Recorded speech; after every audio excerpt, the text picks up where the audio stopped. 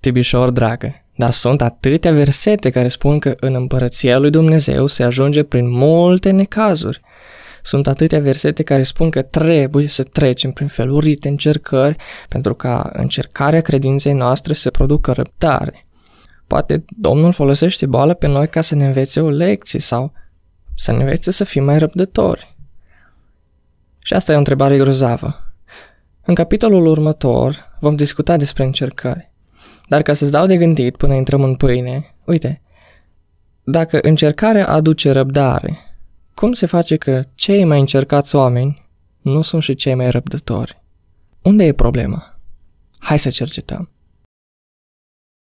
Frățioare, adică ce vrei să spui? Că totul trebuie să ne meargă bine? Nu tu boală, nu tu probleme, nu tu necazuri, nu tu încercări?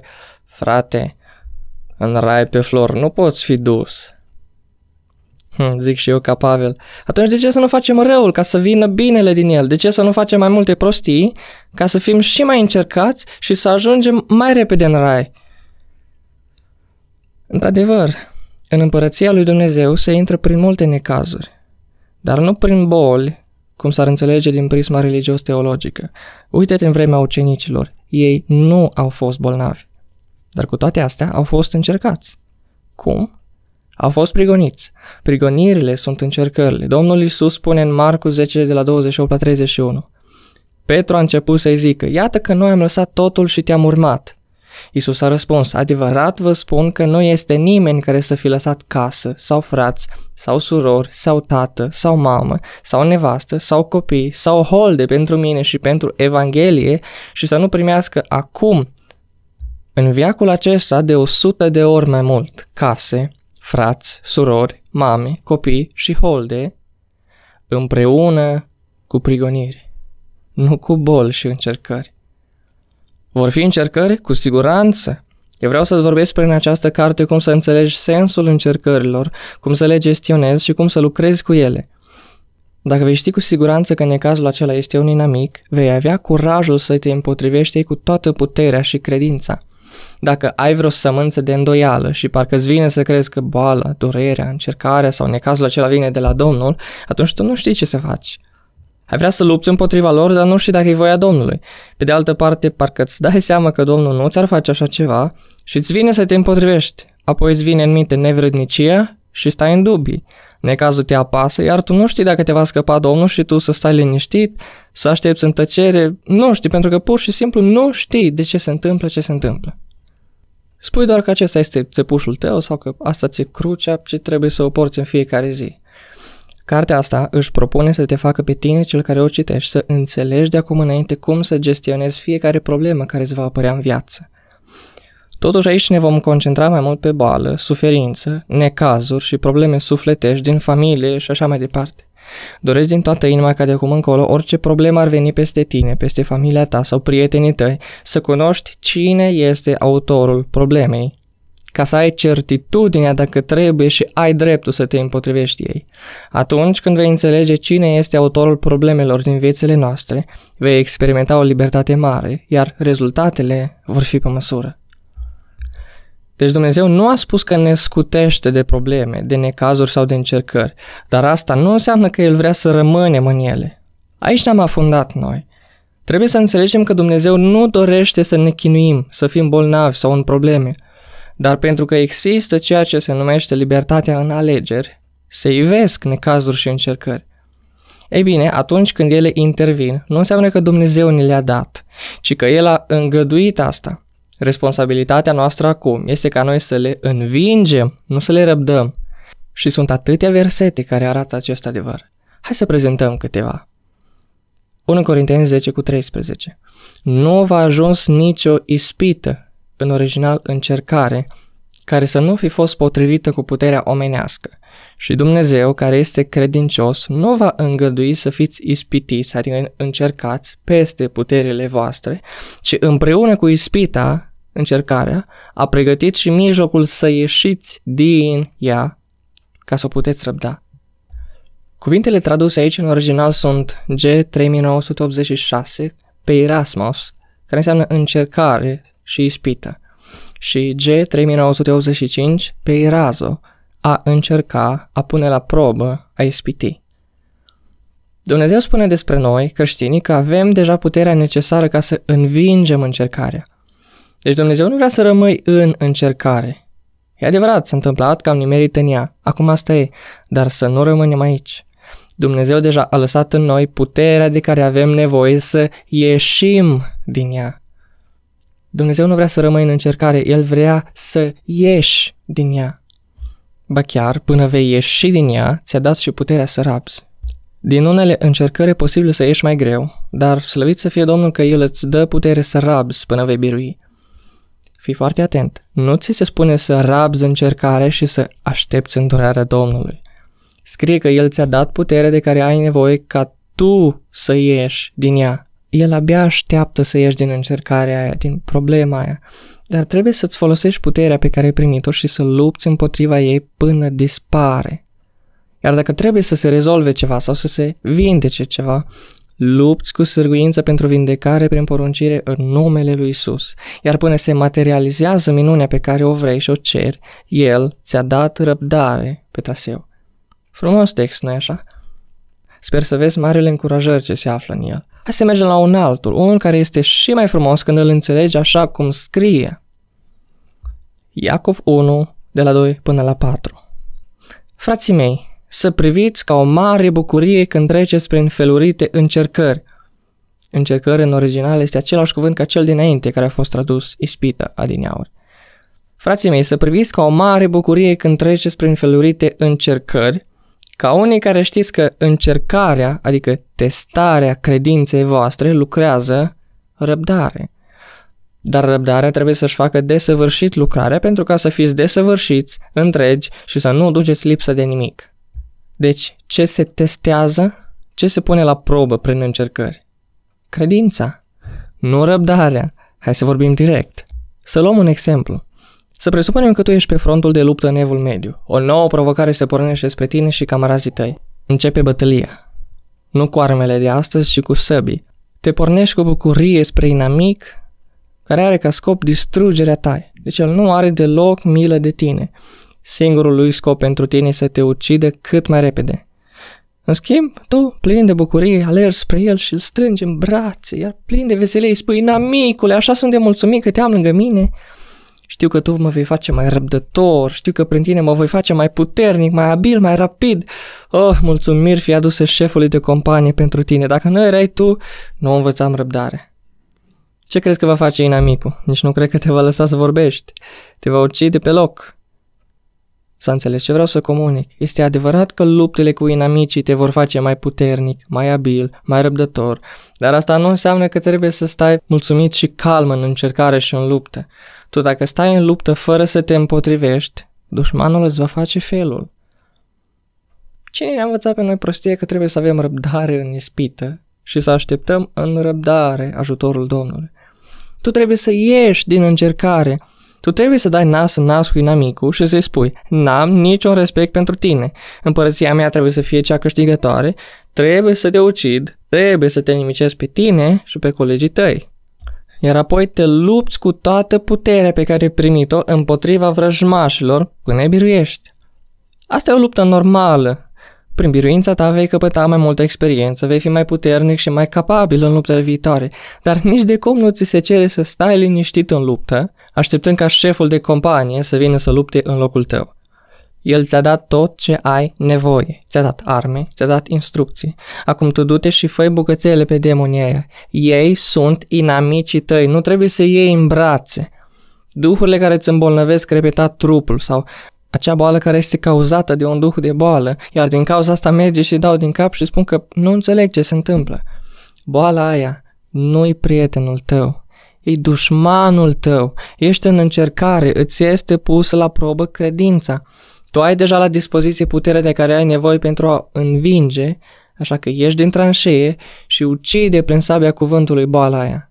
Dumnezeu asta vrea să faci, să lupți împotriva ei, nu să te bucuri că ești bolnav. Totuși Biblia ne încurajează să vedeți ca o mare bucurie când treceți prin felurite încercări. Asta vrea să spună să nu te panichezi când mai vine una. Oh, încă una. Nu mai vreau, Doamne, oprește-le. Ei bine, aici suntem în acest centru de antrenament al Creatorului. Prin feluritele încercări și provocări noi ne antrenăm pentru ceea ce urmează. Dușmanul tot dușman rămâne, dar prin el avem ocazia să ne antrenăm. Când vin ispitele, încercările, necazurile, problemele, de orice natură ar fi ele, ele sunt lăsate pentru a te antrena. Prin ele vei căpăta experiență, vei căpăta răbdare, vei crește în credință, vei crește în putere și așa mai departe. Dar să nu uiți următorul principiu. Nu Dumnezeu îți dă încercarea, ci inamicul care este diavolul. Deci Dumnezeu nu vrea să stai în încercare, adică pe terenul inamicului, ci vrea să ieși cât mai repede de acolo. El ți-a dat puterea necesară ca să ieși din încercare, din boală, probleme și din necazuri. Îți va da puterea să rabzi până vei birui lupta, dar asta nu înseamnă că trebuie să rămâi în ea. Ieși din încercare. Este adevărat, încercările astea te vor crește, te vor învăța cum să fii mai capabil în luptele următoare, dar niciodată să nu spui că Dumnezeu vrea să te învețe ceva prin această problemă, necaz, boală sau suferință. Deci, na, trebuie să aștepți în tăcere și să vezi ce vrea Domnul să-ți vorbească. Nu! Dumnezeu vrea să ieși de acolo. Dumnezeu vrea ca tu să înveți răbdarea, să înveți creșterea credinței prin faptul că tu biruiești inamicul, prin faptul că biruiești bolile, prin faptul că orice problemă ar veni peste tine ca să te încerce, tu în numele lui Isus ucizi orice vrăjmaș. Asta vrea Dumnezeu de la tine.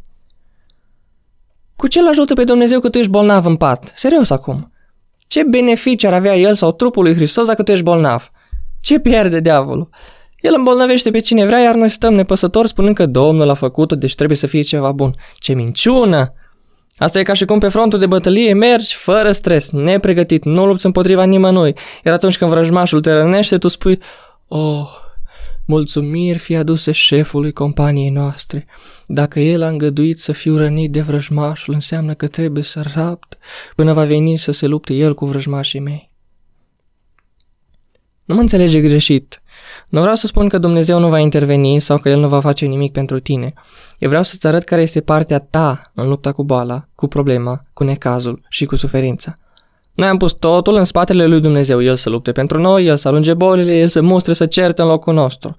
Și de-a lungul anilor se vede cât de multe, între ghilimele, rezultate au adus această metodă. Niciodată nu au mai fost pe pământ așa de multe boli. Diavolul oricând, la orice oră vrea să-și bată joc de cineva, îl îmbolnăvește să îi provoacă un accident fără stres. A reușit să mintă trupul lui Hristos că de fapt Dumnezeu dă bala și astfel nimeni nu se opune lui. Își face de cap, iar noi nu zicem nimic. Din această cauză sunt atât de mulți bolnavi între noi, pentru că noi nu ne facem partea. Privește la bolnavii din biserica ta. Acum imaginează că mergi cu ei în fața Domnului Isus pe vremea când El era pe pământ în trup cu bolnavii din biserica ta, îi prezuinți pe nume pe fiecare. Ce zici? Îi va vindeca Domnul Isus sau nu? Normal că îi va vindeca. El îi vindeca pe toți care veneau la el. Bun, și atunci astăzi de ce nu sunt vindecați? S-a schimbat Dumnezeu? Nu. Adevărul este că noi suntem responsabili să vindecăm bolnavii. În sfârșit ai observat că Dumnezeu este pentru tine și nu împotriva ta. Dumnezeu este vindecătorul, nu cel care te îmbolnăvește. El vrea să te ajute să biruiești boala, nu boala să te biruiască pe tine sau în cel mai rău caz să te ucidă. E posibil să te fi supărat pe mine pentru ce am scris mai sus. Eu n-am vrut să te acuz. Prin asta am vrut să te încurajez că se poate ajunge la vindecare de fiecare dată. Isus a fost bătut crunt și rănit pentru ca tu să fii vindecat. Nu-i destul faptul acesta ca să-ți arate că voia lui este ca tu să fii vindecat. În acest capitol asta vreau să-ți arăt. Da, într-adevăr, în lume veți avea necazuri, dar scrie că îndrăzniți, eu am biruit lumea. Domnul nu spune, în lume veți avea necazuri, să le răbdați pentru că eu vreau să văd cât rezistați în ele. Nu, le spune să le biruiască, adică să lupte împotriva lor atunci când ele apar. Drept dovadă, te poți uita la faptul că Domnul Isus n-a fost bolnav niciodată. El s-a luptat cu bolile și l-a biruit. Dacă tatăl voia ca fiul să rabde bolile, Domnul Isus ar fi fost bolnav și ne-ar fi arătat cum să rabzi bolile și necazurile. Totuși așa ceva nu s-a întâmplat. Nu crezi că ar fi cazul să te gândești la asta? Dacă boala e necesară într-un credincios, De ce n-a fost Domnul Iisus bolnav? Până te mai gândești, hai să mai luăm câteva texte despre încercare. Iacov 1 cu 12 Ferice de cel ce rabdă, în original a rezista, a face față, ispita, aici în original încercare. Deci, ferice de cel ce rabdă, adică face față ispitei, încercării, căci după ce a fost găsit bun, va primi cu una vieții pe care a făgăduit-o Dumnezeu celor ce iubesc. Nimeni când este ispitit, original încercat, pus la încercare, ispitit, să nu zică sunt ispitit, adică încercat, pus la încercare, ispitit de Dumnezeu. Căci Dumnezeu nu poate fi ispitit ca să facă rău și El însuși nu ispitește pe nimeni. Fii atent ce limpede și frumos prezintă încercările apostolului Iacov. Wow! Deci cât de limpede spune el, nimeni să nu spună că e de încercat, că e încercat de Dumnezeu, pentru că Dumnezeu nu ispitește și nu încearcă. Pe nimeni. Dacă te întreb de unde am scos cuvântul încercare, hai să mai explic. Poți căuta tu însuți pe orice platformă online sau în aplicațiile ce conțin Biblia cu numere strong. Mergi la Iacov 1 și poți căuta tu însuți dacă într-adevăr cuvântul scris aici, pe Erasmus, înseamnă cu adevărat încercare. Dacă ai încredere, scriu aici. În majoritatea Noului Testament, Dumitru Cornelescu, atunci când găsești scris ispită sau încercare, e același cuvânt în grecește. Ca substantive G3986 pe Erasmus, adică încercare, ispită, iar ca verbe este G3985 pe Erazo, a încerca, a pune la încercare, a ispiti. Atunci când citești ispită, dar și atunci când citești încercare în versiunea Dumitru Cornilescu, să ai în vedere că în original este același cuvânt. Practic se referă la același lucru. Un test, încercare, ispită prin care vrăjmașul îți probează puterea, credința sau cunoașterea, iar prin aceasta se vrea ca tu să pierzi bătălia și să cazi testul. De exemplu, Domnul Iisus spune în Matei 22 18, Fă țarnicilor, pentru ce mă ispitiți pe irazo? Ce trebuia să facă Domnul Iisus? Să rabde ispita? Normal că nu. Deci aceasta a fost o încercare de a fariseilor ca să-l prindă. La fel cum este și boala astăzi, o încercare de la diavol pe care el încearcă să te prindă. Tu trebuie să-i spui la fel ca Domnul Iisus. Pentru ce mă ispitești? Pentru ce mă încerci, vrăjmașule? Iar apoi rezolvi problema. Nu cazi în cursa bolii, te lupți împotriva ei până o biruiești. Ispita este același lucru cu încercarea în Biblie. Cât de șocant ar părea. Iar să nu uiți că scrie negru pe alb în Iacov că nu Domnul este cel care te ispitește sau cel care te încearcă. Știu că acest adevăr te va elibera mult. Când îl vei studia personal mai mult, vei afla singur mai mult adevăr prin el. Domnul să te lumineze. Alt text. Iacov 1 cu 17. Orice ni se dă bun și orice dar desăvârșit este de sus, coborându-se de la Tatăl Luminilor, în care nu este nici schimbare, nici umbră de mutare. Și acum urmează un dialog. Hei, boala este ceva bun sau rău? Păi, o boală nevindecată duce la moarte sau la viață? La moarte. Domnul Isus a venit să aducă viață și încă viață din belșug. Deci boala este ceva rău, nu ceva bun. Așadar, orice ni se dă bun, adică vindecarea, este de la Tatăl. Hai să mai citim un text despre încercare. Vei rămâne din nou uimit când îl vei citi. Apocalipsa 2 cu 10 Nu te teme nici de cum de ce ai să suferi. Iată că diavolul are să arunce în temniță pe unii din voi ca să vă încerce. Și veți avea un necaz de 10 zile. Fii credincios până la moarte și îți voi da cununa vieții. Cine e cel care încearcă? Cine? Diavolul. Domnul îi anunță pe credincioși aceea despre un atac pe care diavolul îl va da în viitor. La fel cum am scris în capitolul 8 despre prorocii, Domnul te anunță cu privire la atacurile pe care le are diavolul în plan pentru tine sau familia ta sau biserica ta, dar scrie negru pe alb că nu Dumnezeu este cel care încearcă, ci diavolul va arunca în temniță pe oameni ca să încerce. Negru pe alb, că diavolul este autorul necazului. Hai să mai citim o dată textul. Nu te teme nici de cum de ce ai să suferi. Iată că diavolul are să arunce în temniță pe unei din voi ca să vă încerce și veți avea un necaz de 10 zile. Fii credincios până la moarte și îți voi da cununa vieții.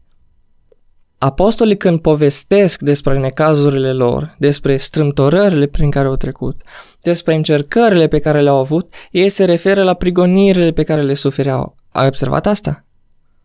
Niciodată nu spune Pavel că printre necazurile lui se numără și o boală pe care o avea ca să fie desăvârșit prin ea. Hai să vedem câteva texte în care apostolii își prezintă necazurile. Să vedem care au fost necazurile apostolilor. Aici se încheie prima parte. Pentru continuare, caută partea B.